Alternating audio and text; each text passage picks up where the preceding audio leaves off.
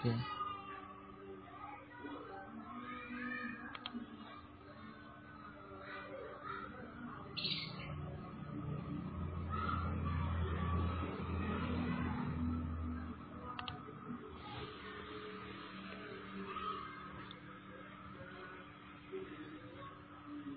عليكم ورحمة الله وبركاته.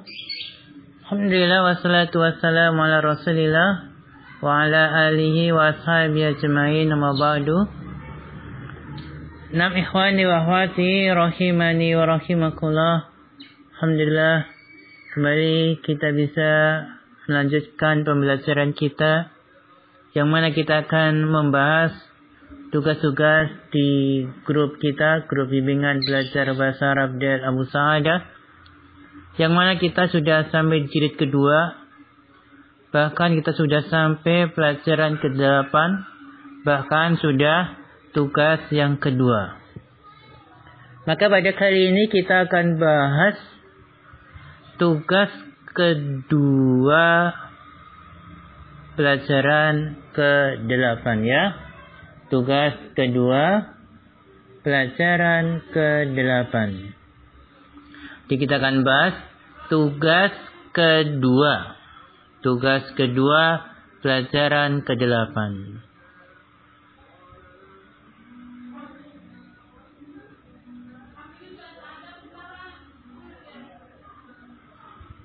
Nah, tugas kedua pelajaran ke-8.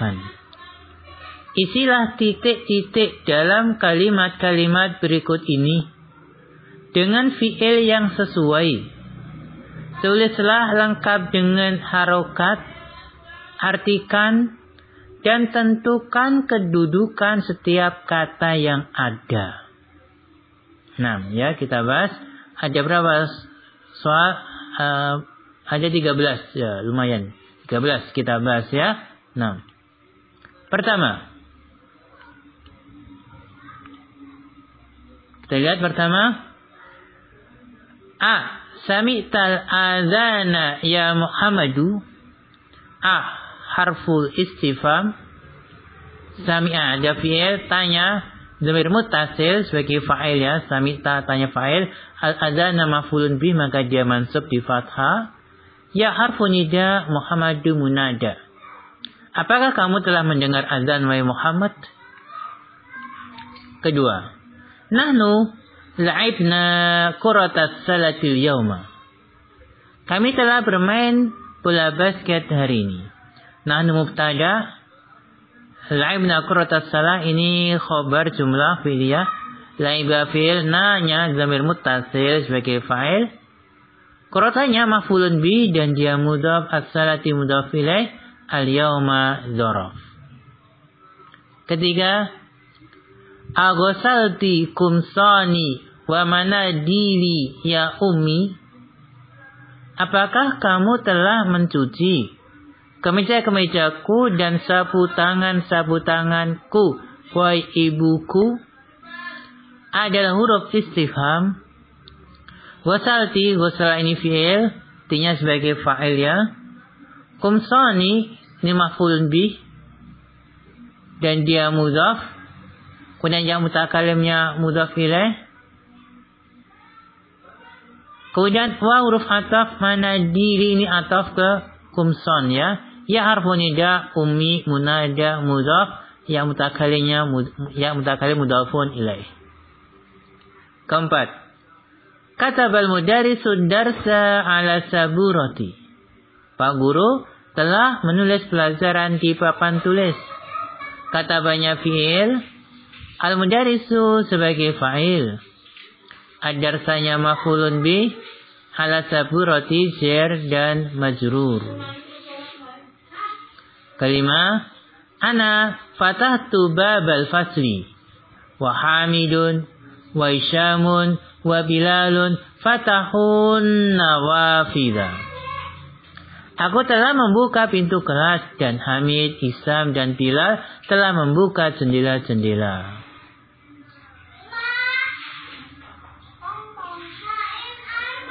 Nah, ana sebagai mubtada tentunya ya. Fatahanya fi'il tunya zamir mutasil sebagai fa'il.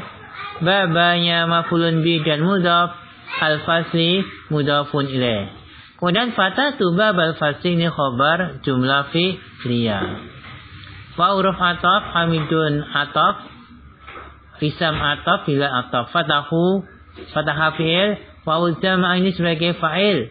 An-nawafida sebagai maf'ulun bi. Nah. Kalau kita i'rab eh, lengkap tadi hamdunya mubtada fatahun nawafida ini khobar berupa jumlah fi'liyah. Keenam, afaimtunna darsal jadida ya banatu. Apakah kalian telah memahami pelajaran yang baru wahai anak-anakku?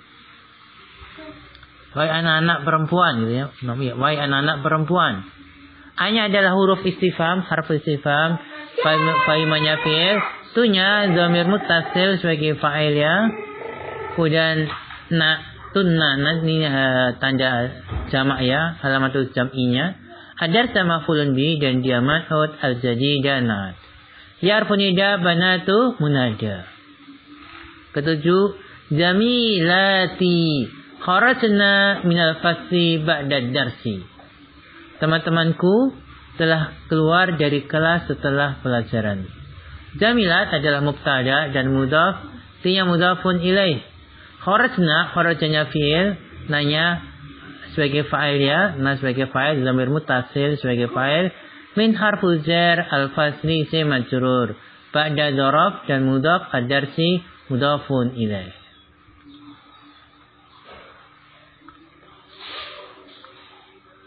Kedelapan, Aqra'tumul Qur'ana ba'da salatil fajri ya abna'i. Adalah huruf istifham. Qara'tum. Qara'a fi'il, tunya fa'il, mimnya ini alamatul jam'i, tanda jamak. Al-Qur'ana mafulun bi. Ba'da dharab dan mudaf. Salati mudaf ilaih dan mudaf al-fajri mudafun ilaih.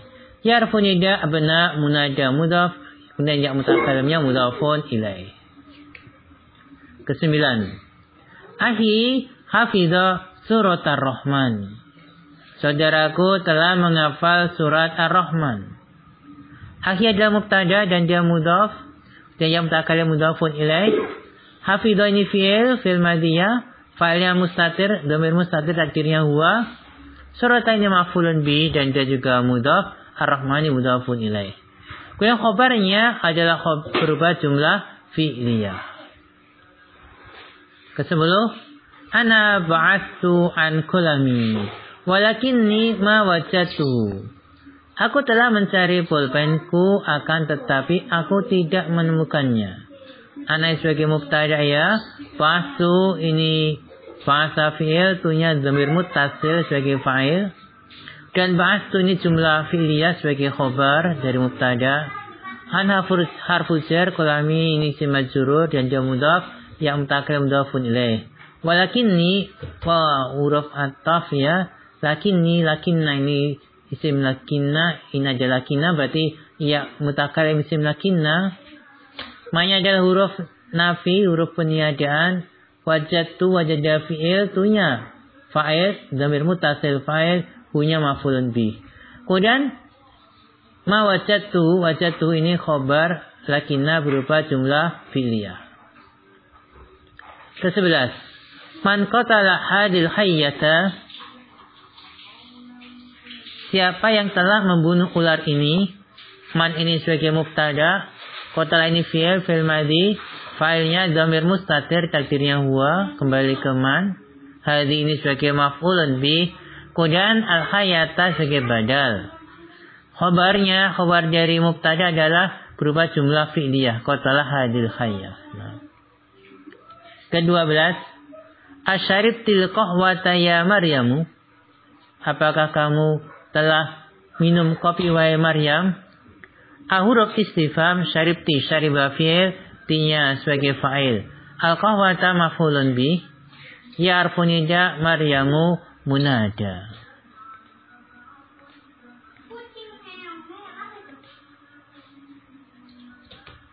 Kemudian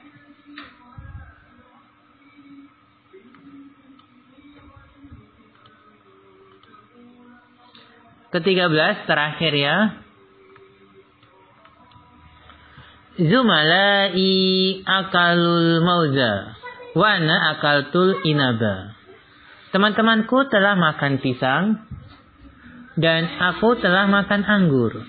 Zumala ini mubtada dan dia mudaf dan yang mutakalnya mudafun ilaih. Akalu akala fi'il wawunya ujamahnya ini sebagai fa'il ya. Al-mauza mafulun bih. Kemudian akalul mauza adalah jumlah fi'ilnya sebagai khobar dari mubtada. Wa uruf ataf karena ini mubtada akal tu akal fi'il tunya zamir mutasil dia sebagai fa'il al inaba mafulun bi. Kemudian jumlah fi'liyah akal tu inaba adalah sebagai khobar mubtada. Nah sekiannya pembahasan kita tentang apa ini tugas berapa? Tugas kedua pelajaran ke 8 jilid yang kedua. Nah, sekian wala alam bisawab. Wa kalam. Wassalamualaikum warahmatullahi wabarakatuh.